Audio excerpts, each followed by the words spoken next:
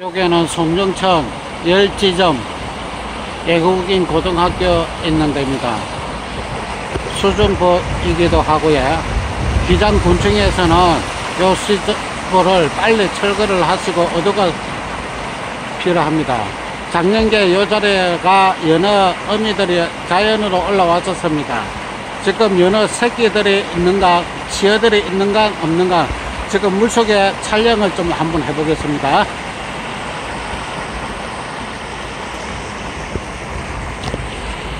카메라 물속에 들어갑니다.